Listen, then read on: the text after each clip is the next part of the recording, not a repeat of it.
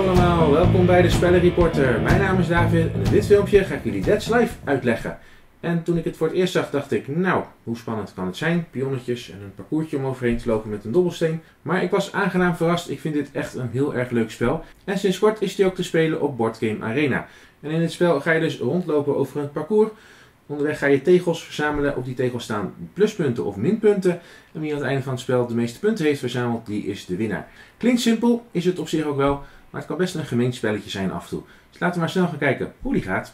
Spelletjes voor 2 tot en met 6 spelers. Met 2 tot en met 4 spelers krijgt elke speler 3 pionnetjes in zijn of haar kleur. Speelt met z'n 5 of zijn 6, dan krijgt elke speler er 2.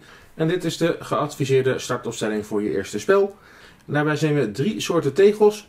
De rode tegels zijn minpunten waard. En die gaan hier van 1 tot en met 8. En dan gaan ze daar weer van 1 tot en met 10. Dus de min 10 is de hoogste minpuntentegel. De groene tegels zijn pluspunten. Die begint hier bij 8 en eindigt bij 1. En dan hebben we hier nog een aantal jokertegel bonustegels liggen. En daarnaast zie je op al die bonustegels plus de eerste twee groene tegels staat ook nog een neutrale pion, een zogeheten wachter. Nou, je eerste beurt is standaard, daar kan je helemaal niks aan doen. Je moet gewoon gooien en je pion gaan verzetten. Zie hier even het voorbeeld met twee spelers. Ik gooi een 6, dus mijn pion moet gewoon, ik moet gewoon een van mijn pionnen pakken en zes stapjes vooruit doen. Ik heb nu nog geen keus, maar straks natuurlijk wel. 1, 2, 3, 4, 5, 6. Een tegel waar je op komt, doe je nog niks mee. Het gaat er straks om als je van een tegel afgaat. Nu is Schil aan de beurt, heeft ook nog geen andere optie dan gewoon te gooien en zijn poppetje te gaan verzetten. Die komt op de min 1 tegel. Ik sta op de min 6 tegel dus. Ik ben weer aan de beurt. Ik gooi mijn dobbelsteen. En nu heb ik al een keus, want ik heb drie pionnen. En ik mag dus zelf weten welke pion ik ga verzetten. Ik kan deze verzetten of ik kan een nieuwe pion in het veld gaan brengen. De grap van het spelletje is dat als jij als laatste, als enige pion een tegel verlaat, dan krijg je die tegel.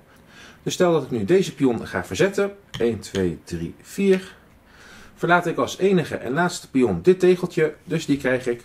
En ik heb min 6 punten aan mijn broek. Dus misschien is dat nog niet zo'n goede optie. En ga ik gewoon vier stapjes zetten met een andere pion. En dan kom ik op deze terecht. Geel gooit een 4. Dan kan hij deze pion gaan verzetten. Krijgt hij die tegel van min 1. Dat is niet zo erg, maar dan komt hij wel op de min 5. Hij denkt, nou ik ga gewoon lekker ook met deze. Kom ik naast rood te staan. Er mogen onbeperkt aantal pionnen en wachters op een tegeltje staan, geen enkel probleem. Nou ben ik weer aan de beurt. Of tenminste, de rood is weer aan de beurt. Die gooit weer 4. Rood kan nu dus denken, ik ga van deze tegel af. 1, 2, 3, 4. Want ik ben niet de laatste of de enige pion die van die tegel afgaat. Omdat geel daar nog staat, kan ik gratis van die tegel af zonder dat ik hem hoef te pakken. Volgende nadeel is dan wel weer dat ik daardoor op de min 8 eindig, maar even voor het spelidee. Dan is Schil weer aan de beurt. Die gooit een 1. Nou, die kan bijvoorbeeld zijn pion hier neerzetten. En dan gebeurt er verder niks. Rood is weer aan de beurt. Die gaat ook zijn naaste pion in het veld gooien. Dan komt hij hier terecht. En nou moet rood een beetje hopen dat geel iets gooit. Waardoor hij automatisch bij rood op een pion terecht kan. Zodat rood daarna weer zonder problemen van zo'n rode tegel af kan. Maar geel gooit een 1. Dus geel gaat bijvoorbeeld hier naartoe. Nou ben ik weer aan de beurt en nu heb ik dus pech, want ik moet nu mijn rode pion gaan verplaatsen van een tegel af. En ik sta overal als enige, dus ik krijg hoe dan ook een tegel. Nou, laat ik dan voor de laagste gaan, dus min 5. Dus ik verzet deze pion. Dat is de laatste pion die van deze tegel afgaat. Dus deze tegel is nu van mij. En ik heb min 5 punten. Gaten die in het parcours ontstaan, kan je of laten liggen en er gewoon overheen springen. Of je vult constant even het veld weer aan, zodat het een aangesloten parcours blijft. Nu is Geel aan de beurt. Geel heeft nu ook een probleem. Moet gaan verplaatsen en gooit een 5. Als hij de min 1 weghaalt, komt hij op min 7. Dus dat is niet zo fijn. Als hij deze verplaatst, komt hij bij min 8 erop. Maar ja, dan geeft hij rood dus de mogelijkheid om van die min 8 tegel af te stappen zonder hem te hoeven pakken. Dus waarschijnlijk zal Geel dan denken, ik ga deze wel verzetten. 1, 2, 3, 4, 5. En dan zien we dat Geel op een tegel komt waar zo'n houten blokje op staat. Een zogeheten wachter. En dat is een neutrale pion. Dat betekent, als geel in een volgende beurt van deze tegel afgaat, is hij niet de laatste enige pion op die tegel, want daar staat die wachter nog. Dus als de geel hier nu vanaf gaat, mag je deze tegel niet pakken, omdat die wachter erop staat. Eerst is rood nog even aan de beurt. Die gooit een 1. Dus die gaat bijvoorbeeld hierheen en dan hoopt hij maar dat geel nog bij die 6, 7 en 8 terecht gaat komen. Nu is geel weer aan de beurt. Geel gooit een 2. En geel wil natuurlijk heel graag die gelukstegeltjes gaan oppakken. Want daarmee mag je dus van een rode tegel een groene tegel maken. Oftewel je minpunten worden pluspunten. Maar om zo'n tegel te pakken moet je dus als enige erop staan. Gelukkig kan je die wachters ook verplaatsen. Maar je mag een wachter alleen maar verplaatsen als er een speler ook op die tegel staat. En dat mag je zelf zijn, dat mag ook een andere speler zijn. Maar geel kan dus nu zeggen, met die 2 ga ik niet mijn eigen pion verplaatsen, maar ik ga de wachter verplaatsen. Die schrijft dan twee vakjes op. Dus hier staan nu twee wachters. En in een volgende beurt, als geel hier nu vanaf gaat, pas dan kan hij deze tegel pakken. Deze wachter of deze wachter mag je straks niet verplaatsen. Er moet echt een andere speler op een vakje met een wachter staan om de wachter te mogen verplaatsen. Nou, rood is weer aan de beurt. En rood kan dus nu mooi geel dwars zitten. Twee stapjes. Dan krijg ik alweer een mintegel. Sta ik al op min 13, maar goed. Ik heb nu wel voorkomen dat geel deze tegel straks kan pakken. Want als geel er nu vanaf gaat, sta ik er nog op en dan krijgt geel die tegel niet. En met deze startopstelling zul je zien dat het straks hier een beetje gaat samenklonteren. Omdat iedereen gaat proberen om als laatste maar van die tegel af te komen. En met die wachters kan je ook elkaar een beetje dwars gaan zitten. Want stel dat het zo staat. En rood is aan de beurt en rood gooit een 1. Dan kan rood er bijvoorbeeld ook voor kiezen om dus een wachter te verplaatsen. Want deze wachter staat bij een andere pion, dus die mag je verplaatsen. En dan zit ik al lekker bij geel. En daardoor kan geel straks niet van deze tegel af.